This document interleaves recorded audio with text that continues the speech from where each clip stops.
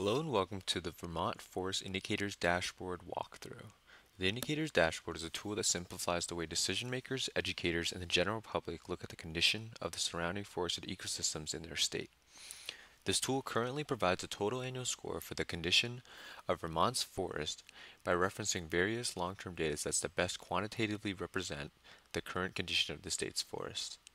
The datasets contribute to four main categories, structure, condition, services, and stressors. To learn more about the Forest Indicators dashboard, head up to the info icon on the right side of the top banner.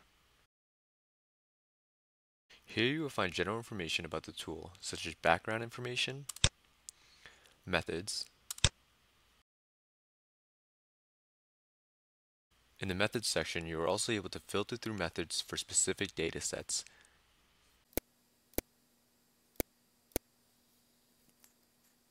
Within the Information pop-out, you'll also find a Frequently Asked Questions section. Within the FAQ section, you'll find answers to commonly asked questions.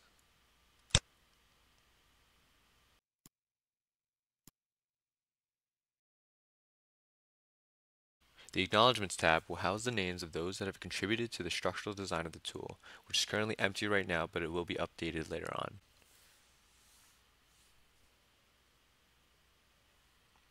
And lastly, you can find all versions of the tools that have been created so far. Here you can see changes or updates that have been made to the data. This is especially useful for citing the dashboard. To exit the information screen, select Close or Don't Show Again. Selecting Don't Show Again will prevent the info screen from popping up each time you go to the tool on that specific computer. From the home page, you'll notice the overall score at the top and the four individual scores for each of the categories. The four categories contribute to the overall score.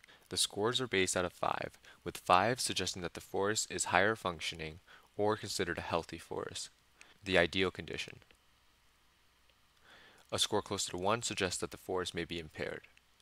We also provided an assessment of the long-term trends for each score, where a red circle indicates worsening, yellow indicates no change, and green shows an improved condition over time.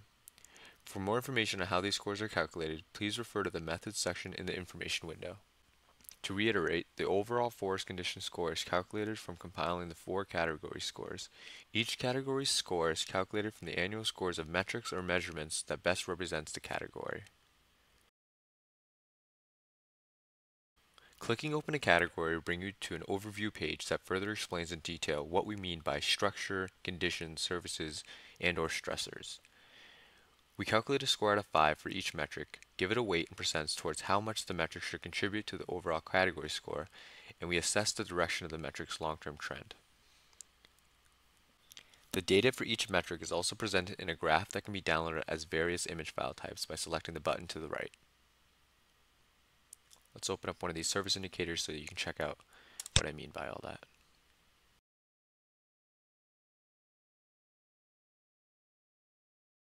If you were interested in downloading this graph by chance, you would select this menu button over here, and then you could select to download the, the graph in any format, image format that you would like.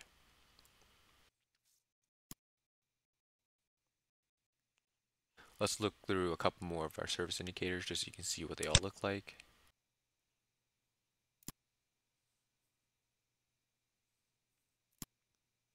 So this circle here represents the direction of the long-term trend.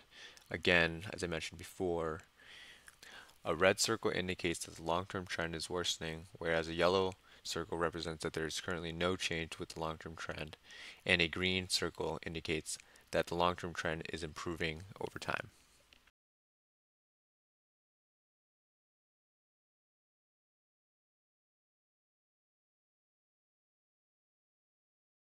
Additionally, within the categories overview page, you'll find additional resources that further explain uh, the resources that we've used to come up with the scores for each category.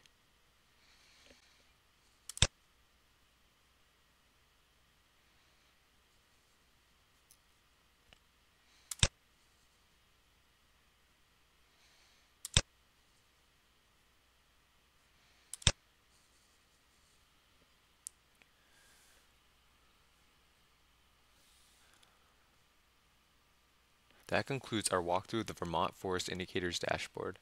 For any questions on how to contribute data, or if you have interest in helping to expand this project, please contact us at femc at uvm.edu or www.uvm.edu slash femc.